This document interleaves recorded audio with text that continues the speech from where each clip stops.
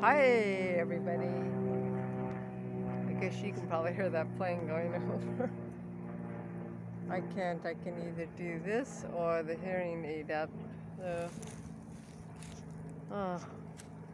As an artist, do you ever have those times where you feel like you've got a lot of, lot of, lot of, lot of creative energy, and then you just kind of crash? And I guess I've been feeling that, and I'm trying to force myself to feel this creative energy. More I force myself, the more I actually feel, I don't know, kind of weird and gross about myself. I start feeling like I'm really old and icky and disgusting, besides these strange bug glasses I have on. but yeah, I've gone through one of those times where I just, I don't feel confident about myself at all. I feel really guilty. I guess because I spend so much time with my creative energy, I don't give time to the dogs or my husband or nature or really even myself. It's like something else has taken a hold of me and it's dragging me around and exhausting me.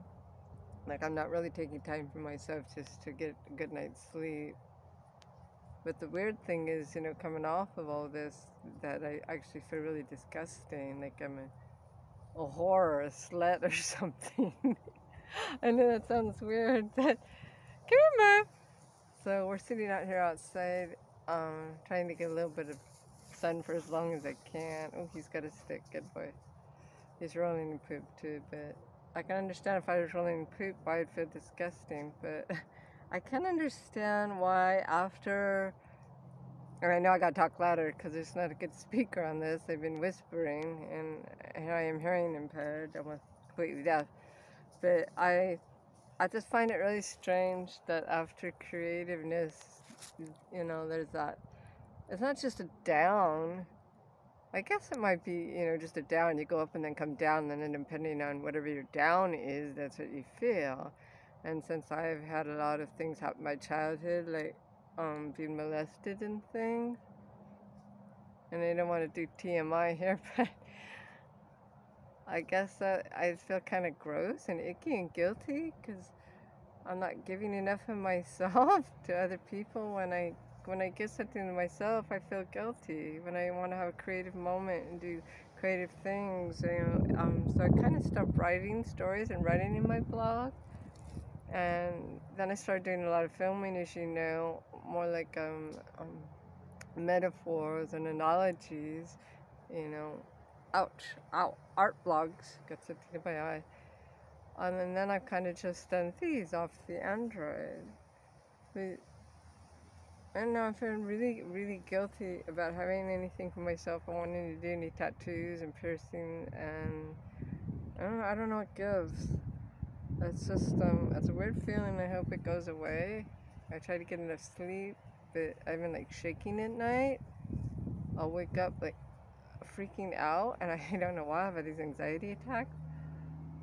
Well, I don't even know if it's part of manic depressive sort of thing or just something all kind of artists go through. They go through this really high peak of creativeness where you feel like doing everything and you get a lot done and you just have surges of energy with the creativeness and then and then it stops and your body's actually telling you to take this rest take this time to heal again or just have some quiet time and i don't take it because it seems like i'm so far behind because of my hearing loss and my stenosis and things and my illnesses I feel like I need to catch up with the world, and the more I try to catch up, the more behind I become because I have this icky feeling. Um, yeah, I'm not really sure what to do about that, but I'm trying to work through it right now. It'd be interesting to hear. Come here, Marv. Interesting to hear if anybody else has that.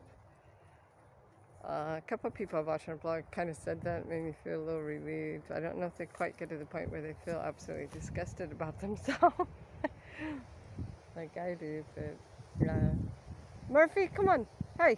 I gotta go check on him. I never know what he's eating. so that's what's up with me today. And I'm getting some weird things on my Android. Did you hear that beep? You probably could hear that beep. So, and it's real annoying on the video. So I gotta go check out and see what that was. I gotta find a way to turn it off. Yeah, because when the phone rings, it rings through here too. Uh, anyway.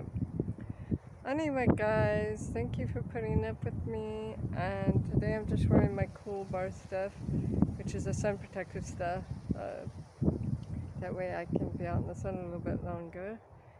Uh, uh, nothing special, just a lot of beauty around here. Uh, love ya.